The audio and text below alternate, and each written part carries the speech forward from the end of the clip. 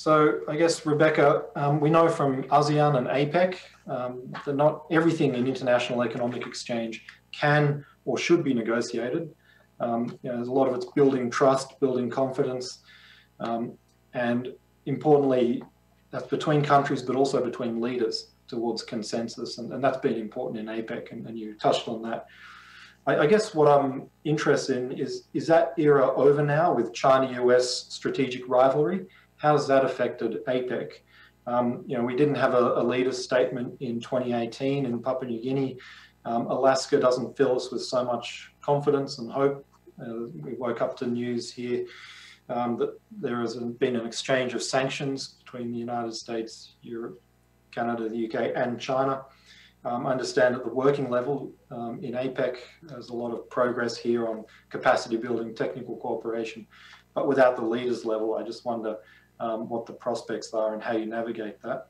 Um, and then to Deborah after that, um, I think your slides showed the difference in generations of, of those agreements, the TPP, the DEPA, and then the digital economy agreement. Um, I guess the digital economy partnership agreement, the Singapore, New Zealand, Chile agreement, looks a bit like the P4 in intent the P4 that led to the Trans-Pacific Partnership with Brunei, of course, involved.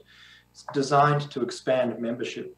Um, I guess what are the prospects of, of expanding membership with that? And a, a, key question there is why didn't Australia join the DEPA and instead negotiate a, a bilateral with, with Singapore? Um, you know, does this imply the larger the, the membership, the harder it is to make progress, or is this simply a function of um, the more modern agreements uh, having more to them.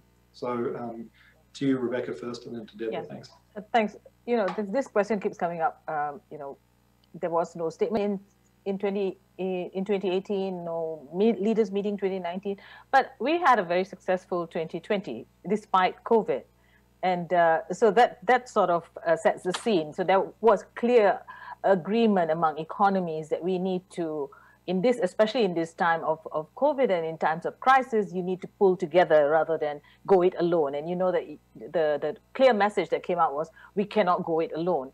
Having said that, I, I want to go back to Peter's uh, thing about a was it Peter or was it was it uh, Josh? I can't remember. Multi-stakeholder, where you talk about uh, it's not about just the government folks working on policy, but bringing in the private sector. And this is where you know in spite of all the talk of the tensions, it's really at the end of the day that, that conversation that we have with the private sector, with the APEC Business Advisory Council, that really makes a difference in the conversation.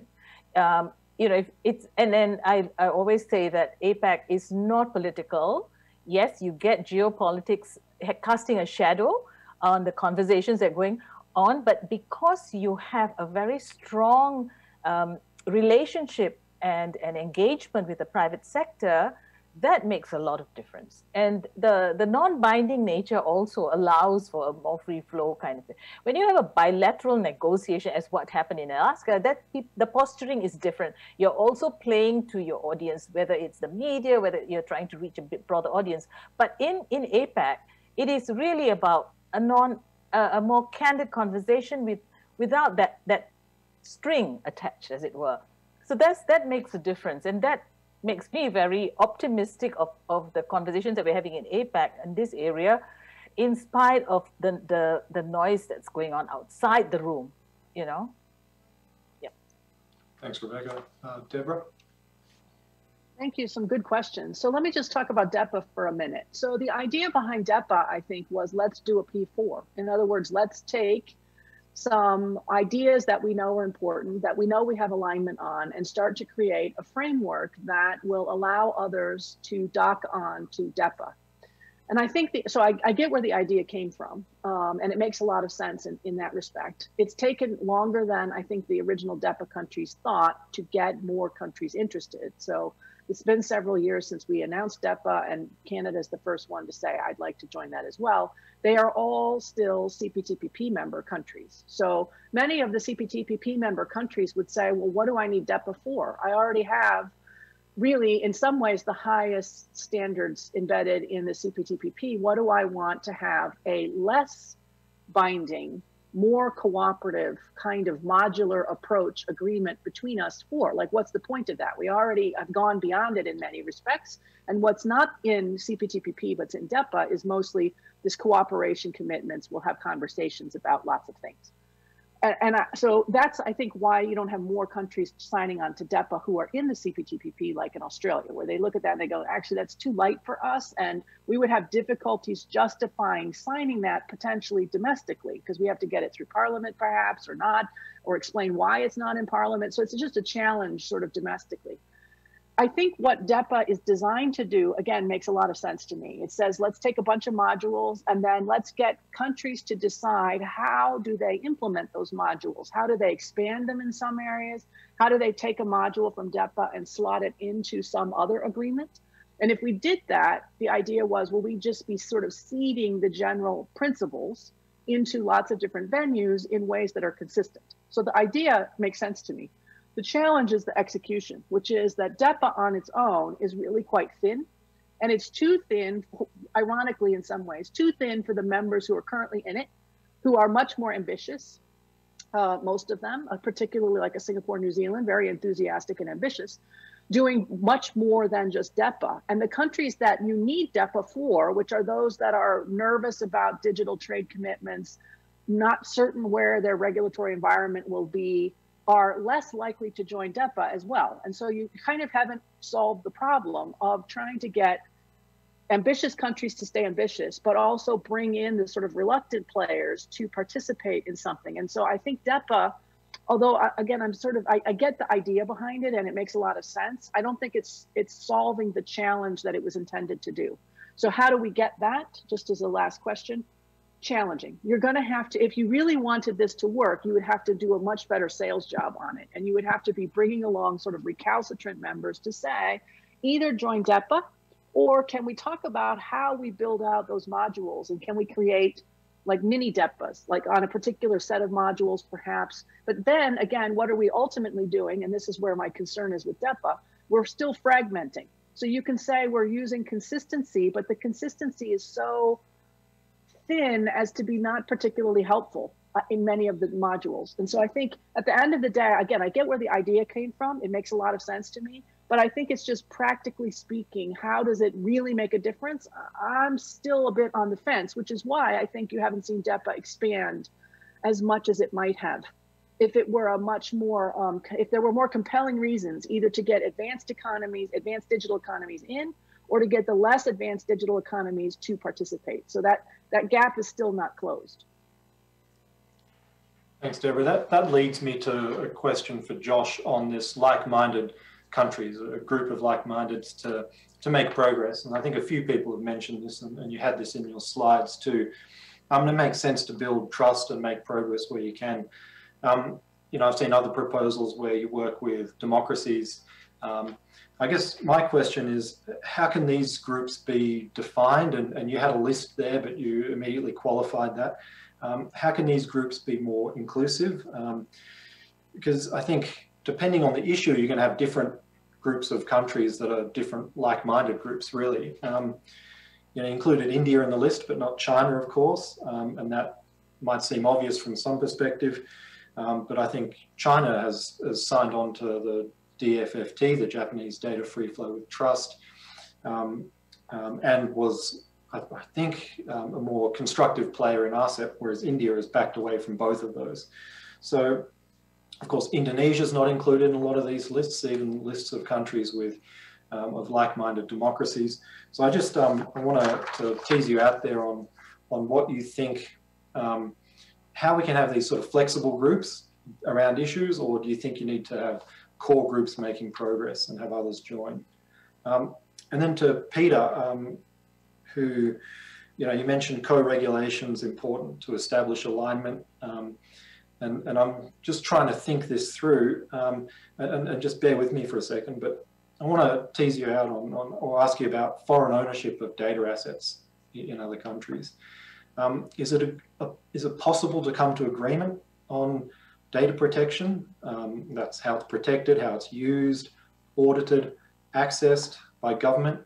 Um, are we able to have agreement, do you think, or is this just going to be this case of each country going their own way, and perhaps the United States setting a, a standard, say through the standards and, and, restrictions they put on TikTok or proposed on TikTok.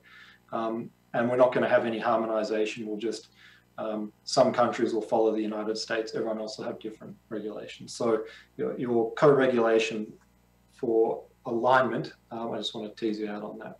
So uh, to you first, Josh.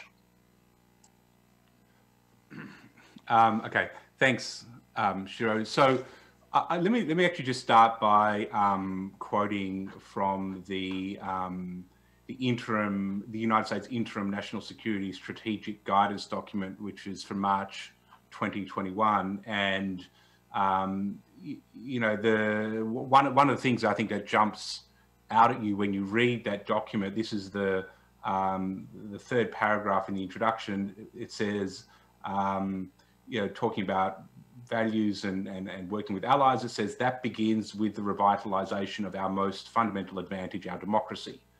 Um, and so, and, and, and on it goes. And, you know, I, I read that because I, I, think what we're going to see for the United States is, is, is this notion of defending democracy, defending democracies as an increasingly sort of central foreign policy and, and national security sort of you know leitmotif and, and, and driving aim for this administration. And that's going to I think play out in, in a whole range of different ways. In, in this space in the technology slash trade world um, it, it is going to mean that I think the administration is going to look where where it looks to talk about allies and build new avenues for cooperation, it will be centered around like-minded um, or, or, or, sort of essentially democracies. And so that's um, in part the reason why China is, is absolutely not in that group. Um, and, and, and while they're, they're and, and it's, it, it's going to be, this is going to be hard to do because let's not get into the discussion of who's democratic and who's not, but but but that's where the administration is. Um, so that's my first point. Um, the second point on China, I think, is that the the approach that I think will will will, will evolve, and again, you you get this from from multiple statements again from the administration, is this notion of essentially coming to China with strength, um, which is really going to be predicated on on building out um, common positions and cooperations amongst democratic allies um, as, as a starting point. The idea that you sort of begin a negotiation around a data governance framework with China, I think is an absolute non-starter for this administration. And so it, it is um, doing that work beforehand um, and developing sufficiently ambitious principles, which is really key here. Um, and then either China does or doesn't get involved, and, and there's there's ways we can talk about what that means. But that was that's not that new, right? I mean, the TPP to some extent was about creating norms that China may or may not have had to respond to, but you know, building out these norms amongst like-mindeds is is not that different. But I think it, it is certainly where the administration is going to be going. Um, on your variables of geography, different groups, small groups, so that exists already. The um, slide that I put up with all the, you know, there's seven or eight, nine different groups, G7, G20 international standards, OECD, APEC, GPI, um, and so forth have got multiple different um, combinations. Some of them include China, right? So China is very active in international standards bodies. China obviously participates in the G20 or point about DFFT. So there are already avenues, in fact, for, for leaders level engagement with China. Um, so I think we've got the multiple variable geometry with the different groupings. And I think that's a strength at one level. I mean, one, one can see that as confusing and, and disorganized, but I, I think given the range of issues that are being discussed, the different equities at stake, working through these organizations, these multiple forums as they already exist, is going to be part of the picture. Um, but what is going to be needed to give effect to this notion of coordination, democracies getting onto the same page and building up cooperation gets you to this idea of a leaders level coordinating body.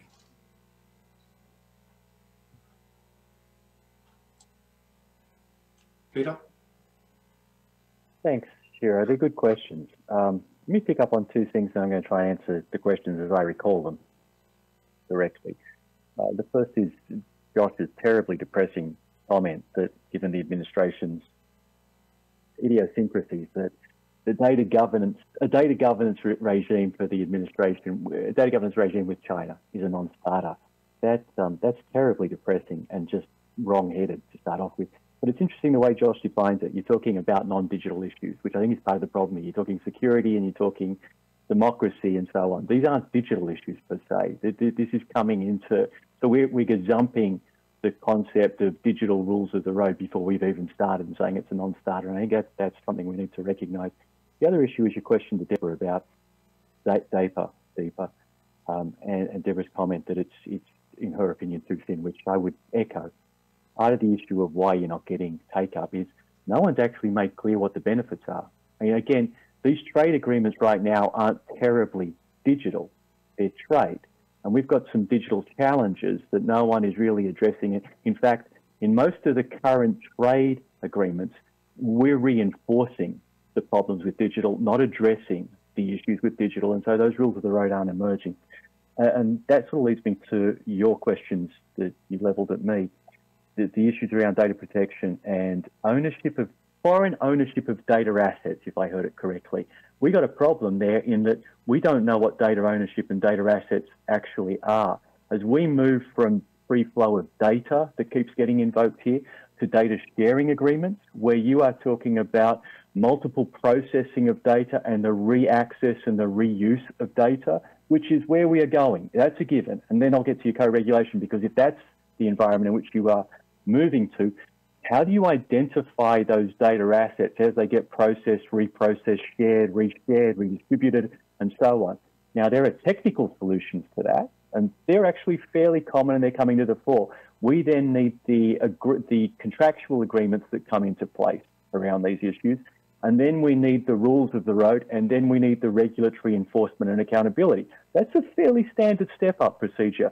Right now, we're coming at that the other way and trying to do all of this in a tiny amount of time where we've had years and years to do that in the past. And that's probably your biggest challenge of all. On the data protection, can we have that commonly? Of course we can. That's an issue of different jurisdictions talking to each other. One of the things that I'm encouraging Rebecca, as she knows, to re-import into APEC, because we started this in APEC at the start of the roadmap process, was the idea of data transfer mechanisms, which ASEAN has made some headway on. Taking data trans, which need to be reworked. They're in very nascent, um, um, clunky form right now. But data transfer mechanisms that allow existing data protection, of which we have an emerging number, to be able to talk to each other. There's nothing terribly conflictual or confusing about that, except right now they're being defined not on digital terms. I'll pause there. Sure, Can I just come in quickly? Um, just a, a, a, very quick response. Um, because Peter always raises the hardest and most interesting questions at times. I just want to just clarify really. Um, when it comes to China, my, my point, just so I was clear, was not that the US will not be engaging with China. They will bilaterally. We saw that in Anchorage and in the G20. It's just that the, the this this coordinating group and getting to ambition on, on digital doesn't begin with China. Also, I think I just want to come just like a couple of points on on that this is a too broad an agenda. I mean, I think from my perspective now, digital is about security. I mean, there is really no no no light between those two issues uh, um, on on a range of, of, of factors here, and it is about democracy. Um, I mean, one of the areas we I spend a lot of time in now is, is artificial intelligence, and how artificial intelligence gets regulated is is going to be deeply value driven, and technology is already value driven, right? Like the, the approach China takes to privacy is different to the approach Europe takes to privacy, is different to the approach the United States takes to privacy. So this is challenging because even amongst democracies, there are different values and approaches to these issues. But it, it is as it is as close to a common set of foundational principles that we have that can inform how values infuse technology, which is going to be a core part of this. Thanks, Josh. We're, we're rapidly running out of time for this panel before we go to the concluding session. And I, I recognize Rebecca's going to be on the concluding session. So um, maybe I'll just pitch to Deborah, Josh, and Peter very quick responses on some very big questions. Um, we've had a number of questions from the audience around the like-minded group, and I think we've covered that a, a fair bit between Josh and, and Peter, uh, and even and Deborah. But um, one question is about um, the discussions today showing bottom-up efforts. Um, they count and they're very important, but what about top-down efforts from the G7 G20. Um, Um, what are your views on that? And then um, I want to come back to Ambassador Bilahari's question on, you know, the big system differences between China and the United States, and hence the pessimism that was sort of turned over to a bit of optimism later on. You know, Wendy did uh, mention um, and emphasize China's sovereignty. Um, you know, there's a core. Uh, I think this is not an issue that's confined to China, um, and, and, countries will continue to regulate um, based on their values and interests domestically. Um, I guess for me, the WTO and earlier the GATT um, is an example of, of working with different systems um, and keeping those key principles of you know being able to regulate your own economy, where, whereas bringing some rules and some understanding that bring transparency, predictability, and some constraints limiting discrimination. I guess the question would be, um, can that kind of approach be the right approach for digital governance as well? So I won't get you all to answer both questions, but anyone who want to jump in on either of those questions, Deborah, Joshua, or Peter. Um, well, I'll just say that I think, you know, if digital ends up being the economy, then we clearly are going to need to have cooperation and it's going to need to take place like the GATT WTO system over time and with different groupings as it expands out and evolves. But I think there are all kinds of challenges that are different that need to be addressed. Some of them are technical and practical and can be resorted out, I think, even between competing systems relatively easily and some of them are much harder and much deeper to deal with. But but one key point one that i think is essential is you have got to involve the private sector and we have got to do a much better job of educating governments government officials on the digital economy. Because we are still talking about people who literally look out the window and say, I don't understand how my data is in that cloud. You know, and if that's the folks who are regulating our digital economy, we're in trouble. So I think above all, we need, and I guess this sort of echoes Peter's point, we really need to have more conversations about what is the digital economy, what does it do, what is it not currently doing? What can it do? How do we think about the future?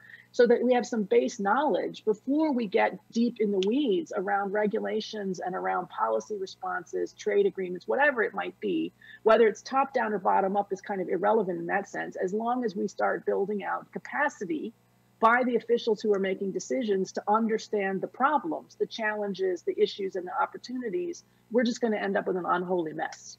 And so I, I, think this is kind of session that we're having this morning. I mean, I don't know who's the audience. I hope that there are people that matter, um, are paying attention to some of the ways in which this is getting defined um, in order for them to level up their own knowledge to be able to tackle this more effectively.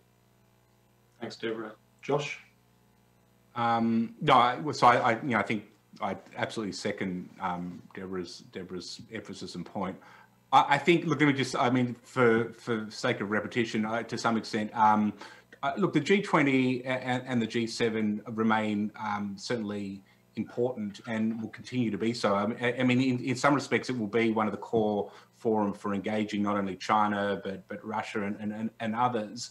Um, you know what Italy. I mean, you, you know, it, it's a bit variable, right? I mean, it, Italy's got a, a, digital agenda, from what I can make of it, but it's it, you know, there is something about the the agenda setting around digital and and the the way that leaders prioritize it, which I think limits its effectiveness over time to some extent. Um, it's a bit too idiosyncratic, um, but there's nothing that can be probably done about that. And you know, the membership is what it is. I mean, there are opportunities there, but it's not the key steering committee for for digital and can't be. G7 more like-minded, but but actually too small, too European um, focus to European heavy, um, you know, doesn't include, um, you know, other significant digital players that really need to be part of that. So we don't have the perfect forum, but we have we we work with what we've got. You know, that's we, we need to be pragmatic in that respect. Um, and so, you know, I think again another another area where we need to drive more ambition and use that as as a place where we can sort of you know, essentially caucus um, around very ambitious sort of proposals, which can then be seeded in other in other places. Thanks, Josh. And finally, Peter. Uh, Ambassador Bilahari, I'm a huge, as he knows, I'm a huge fan and follower of. Um, he, uh, he, he nailed it in part with this issue that we're dancing around of China is both, and I'll misquote, the problem, the, the problem and, and the solution. Um, they're intrinsic to both, and they're driving a lot of this. To, to Josh's point of, and I, I actually agree, that, that, the Biden administration is going to struggle to uh, engage on a digital governance uh, regime. That to some extent, that's a non-starter when it's defined in these other terms. Is probably it's not defined that way for China. There's a commercial aspect which is just crucial, and I think that was mapped out quite comprehensively. Um, the reason I pick up on Ambassador Bilahari is to echo Deborah's point around awareness. We are now past the age where any senior official ought to be saying, I'm not tech savvy, I'm not digitally savvy. Ambassador Bilahari is one of the most digitally savvy people I know. In the same way that we need people to be at that level, not saying they can't talk financial. When we're talking about economic development, we don't have any of our senior officials saying, I'm going to give you some thoughts, but I don't understand finance the digital agenda, as Deborah keeps saying, is the economy. It is the overall governance. So we need to, and he, he nailed it. So we need to stop that position. We need to start addressing some of these issues looking forward, both for the governance regime you want to create and these trade agreements instead of looking backwards in the rearview mirror. We need to address some of these digital challenges on their own terms, otherwise they're going to keep coming up. And APEC is probably the prime place for taking some of these forwards because it's non-binding, because we can actually bring people to have the conversations and recognize that we're all going to be different, but we're going to have this public-private intermixing of the technical savviness and the rules of the road that allow us to participate at scale and at, at speed. Fantastic. Thanks, Peter. That's a, a nice way to wrap up this panel.